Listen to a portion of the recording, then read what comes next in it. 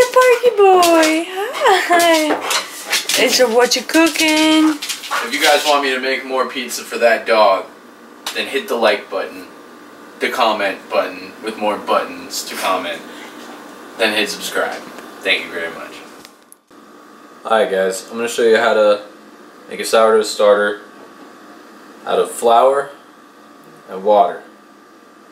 I'll show you my sourdough starter I got going.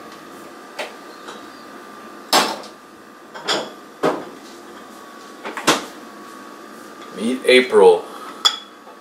She's very strong and she can live in the fridge. I only have to feed her once a week, but you have to get your starter strong before you can throw it in the fridge. And that comes with daily feedings and even after a while you'll probably have to feed it every 12 hours, but not necessarily every time.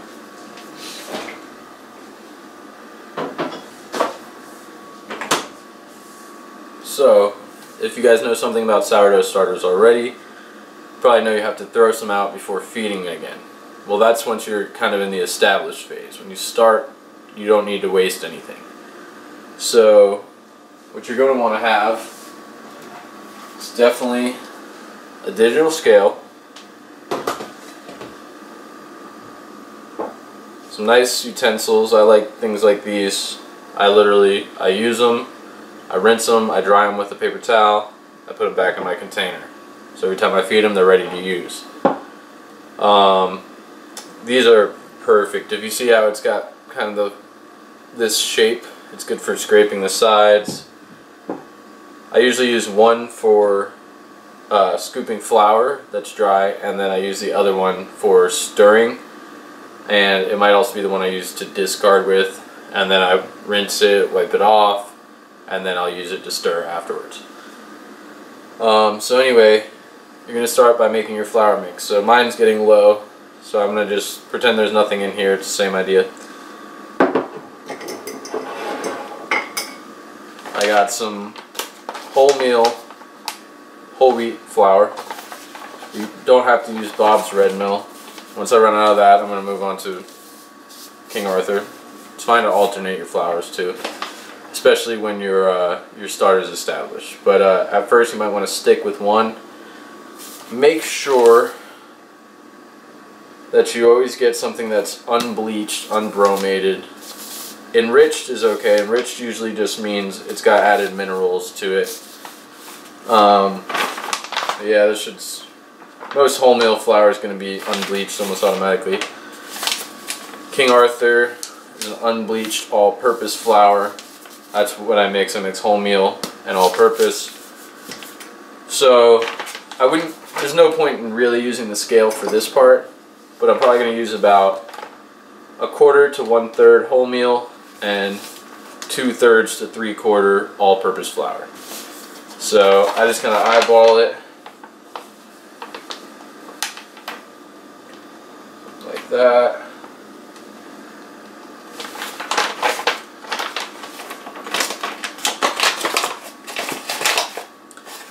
Wholemeal is especially important in the beginning making your starter because wholemeal flour is, is the whole grain.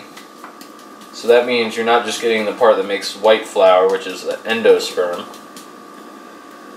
Endosperm is used in white flour a lot because that's the most gluten forming part of the grain.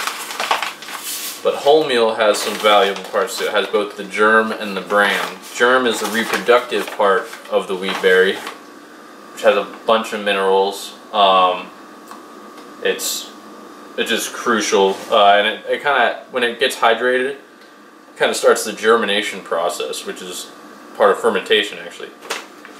And it also has the bran, which is the outer layer of the wheat berry, and that's the part that gets exposed to the natural yeast that's everywhere. That's on your hands, it's in the air, it's almost on everything. But it's uh, in abundance on the bran of wheat berry. So, yeah, I could actually throw a lot more white flour in here.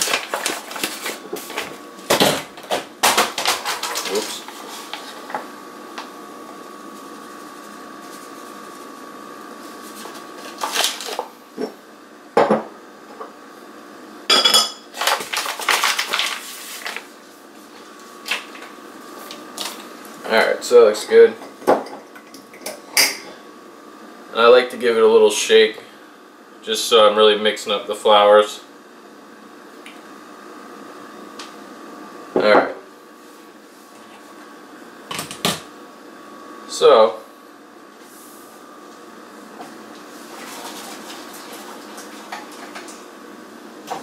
I would probably recommend using some portion cups if you can find them. If not, just do it straight into your container you plan to make your starter with.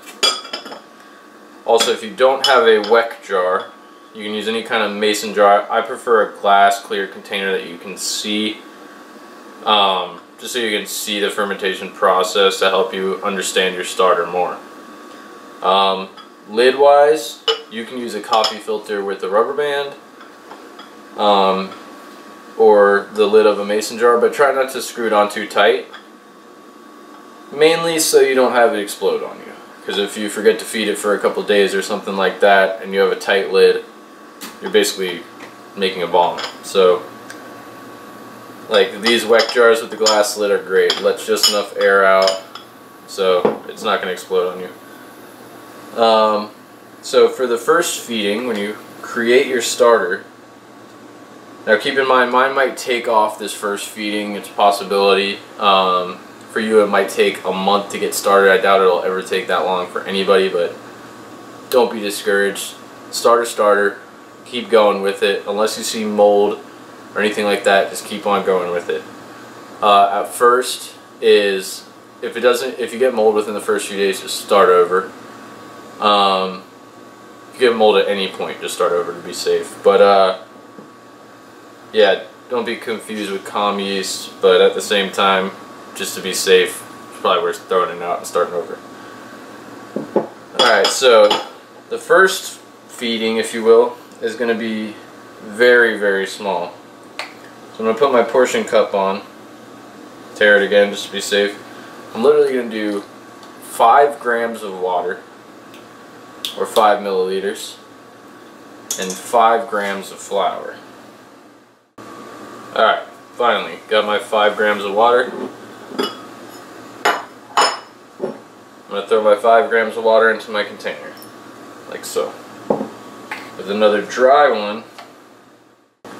So now, got my 5 grams of flour. I'm going to use the one I, I grabbed my flour with. So yeah, when I was talking about utensils, you're going to want one to discard with and one to measure your flour and stir with. You want to try your best to make it so when it's such a small amount it can be kind of tough. But your goal is basically just to get it to where there's no dry flour at all. I know it seems ridiculous using 5 grams of water, 5 grams of flour, but just trust me. Alright, and I like to keep it all together as much as I can. It's hard. So make sure your utensils and everything are clean, not sterile, but clean. Pretty good now. I scraped the sides if you see. There's no need for a rubber band yet because it's so tiny. But that's my now 10 grams of starter. We'll call it Larry after Lawrence, our biggest fan biggest supporter, let me put it that way. Thank you for all the questions you ask and everything. I'm gonna name it after you. Larry over here. Like I said, just rinse it off. Wipe it off. And boom. So, it's not going to get a second feeding until 24 hours from now. And I added 5 grams of water, 5 grams of flour to make 10 grams of starter. So a 1 to 1 to 1 feeding means X amount of starter, X amount of flour, X amount of water. So a 1 to 1 to 1 feeding would be, for second feeding would be 10 grams of starter, 10 grams of flour, 10 grams of water. And that will be its second feeding, which will come tomorrow. And I'm actually, yeah, there's going to be no discard or anything like that. I'm going to add to this for now. So for the first couple feedings, you're just adding to what you start with. So here it is. I'm going to put it aside. We'll come back to it tomorrow, about 24 hours from now. Maybe a little less because it's almost midnight right now. And we'll see where it's at. If it's really cold where you're at, feel free to wait 48 hours, but I think if you wait 24, you'll be fine.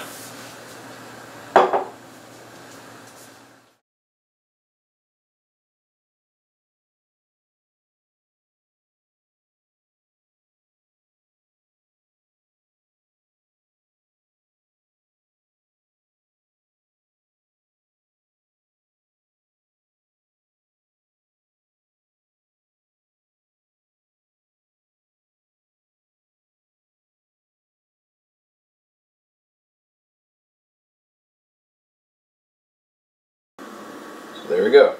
That was the second feeding. Still on the birth phase of this starter. Looks something like that right now. There's no bubbles anymore, it's fresh.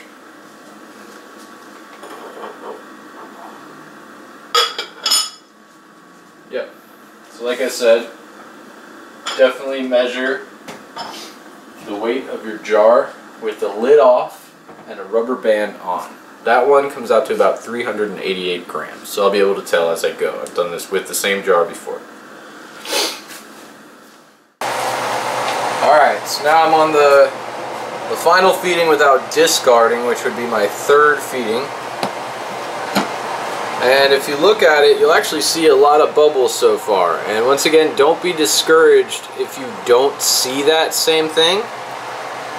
Um, because this probably has yeast residue from the last sourdough starter I had in here even after running through the dishwasher.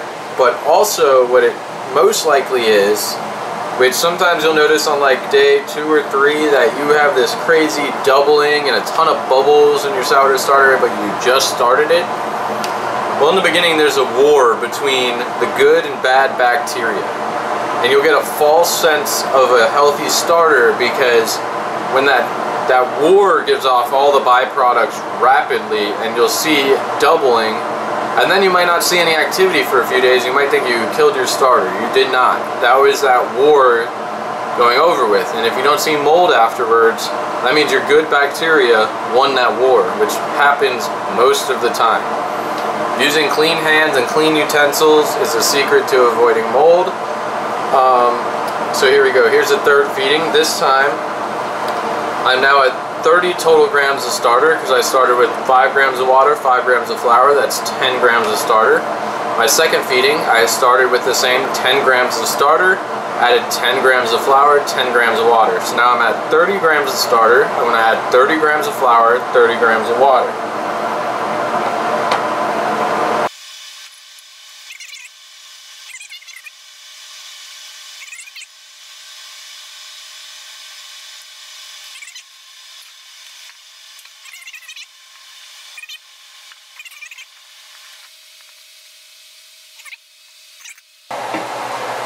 And I'm going to grab a rubber band. Now, I'm not totally keeping track of it now, but now is the time to use a rubber band.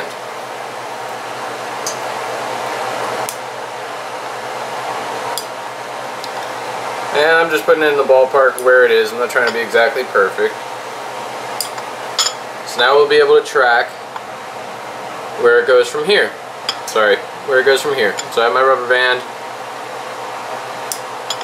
where it's at, and uh, next feeding is where I'm going to start discarding it, and I'll show you that. This is my starter after its third feeding. You can see it went above the line a little bit, not much. It smells kind of funky, as it usually does in the beginning. Now this had a rise, it didn't quite double. It's bubbly, as you can see. You can even see from the top. Um, you also notice that it's runny. It's way more liquidy than it was. That's from the gluten that was there getting basically destroyed by the fermentation.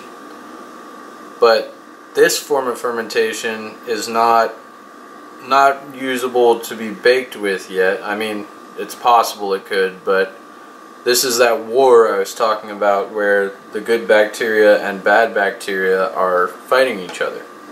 The good bacteria is so strong that if you use clean hands and clean utensils, 90% of the time or more, you'll get a successful starter.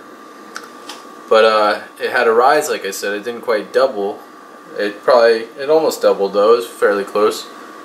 Um, that's because the byproducts of all the bad bacteria getting killed by the good bacteria, basically. Um, so this fools a lot of people and intimidates them because they get this rise at about this time and then for quite a few days there's almost nothing sometimes. Now it's also possible that this container that I've used to hold my sourdough starter April still had some yeast even though it's been washed with soap and ran through the dishwasher and that was enough to kick off fermentation. Or this flour that I've used for all my starters has some yeast residue in it. But anyway now we move on to phase two of the starter. We're out of the birth of the starter. So this is a jar I'm going to be using. It's a ball jar with the screw top and the first thing I'm going to do at this phase once I enter it is I'm going to weigh the jar that's empty with a rubber band. And it comes out to 286 grams. I'm going to make a note of that.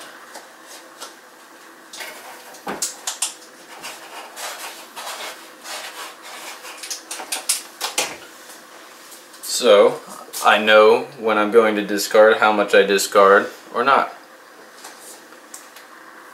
So I'm going to discard 60 grams, which should leave me with 30. And I'm going to start my first one to one to one feeding. I'm going to mix it up first to make sure everything's together. I'm going to try my best to get to 30 grams. Now if you accidentally go over, don't worry about trying to take any out. Just match that with your flour and water. So say if you do 32 grams by accident, do 32 grams of flour, 32 grams of water. You want to feed it at least its own weight. So you can see how runny it is from the gluten being destroyed. So 286 would be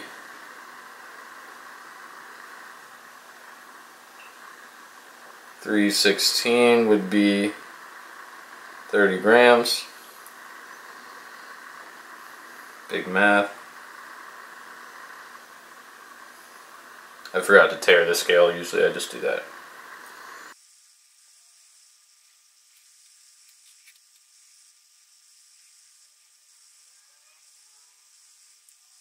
And you could do, say, 10 grams, 10 grams of water, 10 grams of flour. But uh, at 30 grams, that's where you can see a real increase, basically. And it's not that much flour getting used. So I got my 30 grams of existing starter. And I'm to add 30 grams of water.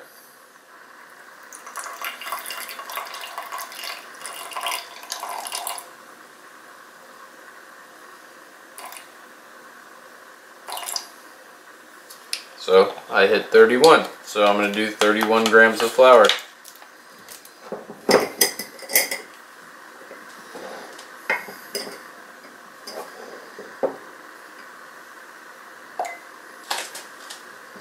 So I forgot to tare it again, should get me to 62.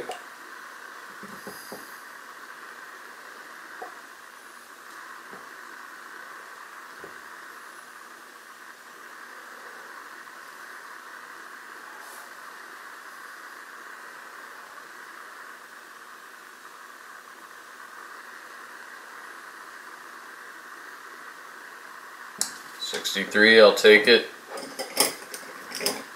And if you miss a gram or two high, going a little higher with your flour, that's okay. That actually, I kind of almost do that on purpose a lot. Just so it's slightly stiffer, still, it's like 99% or whatever, 98, 96. I'm going to stir that all together once again. But I don't see any dry flour.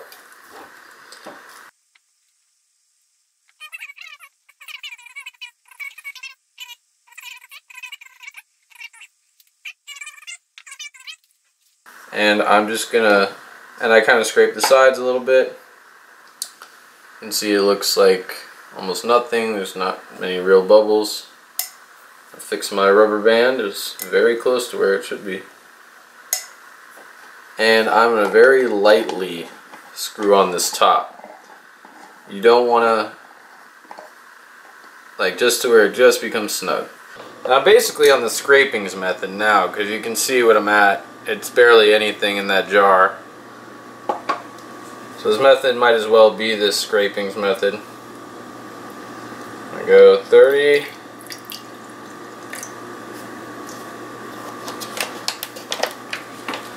And I just refilled my flour mix again.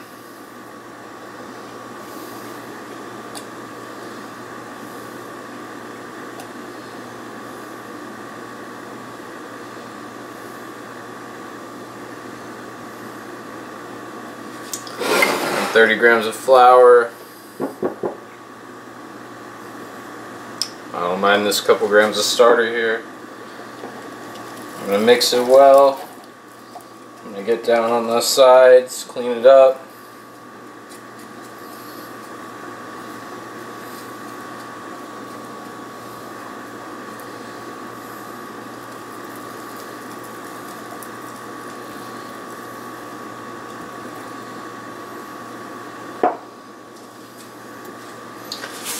Once again, with your discard, I would use it for compost because there's a lot of good bacteria still in there.